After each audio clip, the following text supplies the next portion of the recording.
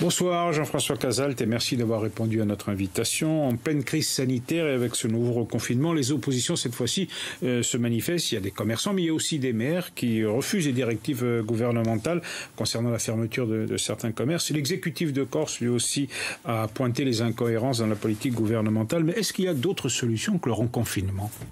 Bien, déjà, on peut dire qu'on chercherait vainement la logique dans la gestion de la crise par ce gouvernement, et ce depuis l'entame depuis janvier 2019. Aujourd'hui, nous sommes dans une situation qui est complètement inégalitaire. Nous avons des gens qui souffrent et ces gens sont les petits commerçants. Et quand on voit l'inéquité avec laquelle ils sont traités, eh bien évidemment, ils, euh, ils, tapent du poing sur la table. Et il faut saluer l'initiative de tous ces maires. Je crois qu'il y a une quinzaine ou une vingtaine de, municipalités euh, en France qui ont justement dit que ce n'était plus possible et qui ont pris des arrêtés qui sont symboliques, hein, parce que malheureusement, on connaît la hiérarchie des normes. Mais en tout cas, c'est important politiquement de souligner que ce genre de gestion de la crise-là ne peut plus continuer. L'exécutif a fait un certain nombre de propositions en faveur des, des petits commerces, mais quand on a refusé le pass sanitaire euh, en juin, comment est-ce qu'on peut accepter les mesures euh, qui sont proposées? Mais on voit bien qu'il n'y a pas de gestion de la crise sur le long terme. Pourtant, s'il y a une chose qui est sûre, c'est que l'on sait que malheureusement, ce virus ne va pas disparaître demain.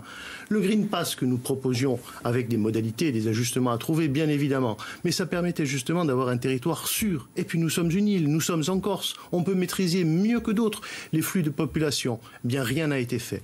Le problème, c'est ce manque de concertation. Tout vient d'en haut, tout tombe des cimes présidentielles et malheureusement, rien n'est concerté et on arrive à ces aberrations que vous connaissez, que nous connaissons aujourd'hui et dont nous souffrons. au-delà du Green Pass, si vous en aviez la possibilité, si vous en aviez le pouvoir, qu'auriez-vous fait, vous? Le Green Pass, c'est quelque chose d'essentiel, à savoir qu'on s'assurait que les personnes qui venaient de l'extérieur étaient en bon état de santé et n'allaient pas contaminer la population. Les prises de température à l'aéroport, il y avait tout un panel de mesures qui avaient été imaginées pour justement sauvegarder la sécurité sanitaire et sauvegarder également l'économie. Et j'irai même plus loin. On voit qu'on n'oppose pas si justement les gens savent que la Corse est un territoire sûr sur le plan sanitaire, eh bien ça serait un levier de développement économique. C'est ce que le gouvernement n'a pas compris et que nous avons compris en toute modestie avant les autres. Alors parlons politique et élections, si tant est qu'elles aient lieu, on parle d'un report euh, possible. En tout cas, la décision sera prise par l'Élysée avant la fin euh, de l'année. Vous êtes favorable à ce report et eh à quelle date? Nous verrons l'évolution de la situation sanitaire. Mais si d'aventure il devait y avoir des problèmes sanitaires tels qu'il euh, y ait des contraintes pour toute ou partie de la population, il ne serait pas compréhensible qu'on puisse laisser les gens aller tranquillement voter comme ça s'est passé de manière presque dramatique au premier tour des élections municipales de mars 2019. Donc si d'aventure il devait y avoir un problème sanitaire, il faudrait bien évidemment reporter les élections. La question est plutôt de savoir quand reporter ces élections. Le président voudrait après les présidentielles. Bien évidemment, ça l'arrange.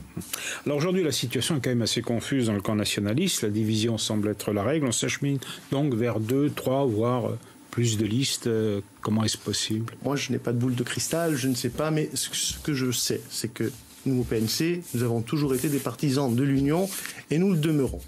Mais vous savez, la configuration dans laquelle va se présenter la majorité territoriale aux prochaines élections, c'est peut-être pas l'essentiel. L'essentiel, c'est le bénéfice qui va être attendu pour la Corse. Et ce bénéfice-là, on pourra en juger à l'aune du programme, à l'aune du projet territorial que nous défendrons et qui devra être partagé par les nationalistes en priorité, mais par tous ceux qui veulent que faire vous un critique sur la mandature. développement économique réel. critique sur la mandature, vous, en tant qu'élu PNC ben, Rien n'est parfait. Hein, et cette mandature ne l'est pas. Et nous avons, nous avons jamais pratiqué la langue de bois. Nous avons créé notre groupe et nous avons dit quand les choses allaient bien et quand elles n'allaient pas. Mais tout ça dans, dans l'espoir justement de faire avancer les choses d'une meilleure façon, de d'accès d'une meilleure façon les choses qui, de notre point de vue, désaxaient un petit peu. Alors, dernière question très vite. Depuis de mars, vous êtes dans l'opposition municipale ajaxienne face au maire qui sera le principal adversaire de votre majorité euh, territoriale. Comment est-ce que vous appréciez son action à la mairie? Très vite. écoutez, euh, si on veut faire une petite projection, quand on voit ses résultats en matière d'urbanisme hein, sur la ville d'Ajaccio et sur, euh, et sur la CAPA en général, quand on voit sa gouvernance, et j'en veux pour preuve l'avant-dernier conseil municipal qui s'est très mal passé, avec une opposition qui est méprisée, une opposition qui est moquée, euh, quand on voit justement ce manque de résultats, ce manque d'idées, ce manque de souffle, on ne peut que craindre sur justement le projet qu'il prévoit pour la région. Jean-François Casalta, je vous remercie. C'est moi je qui vous remercie. Avec Corsi Gazer et Stéphane fanúšati.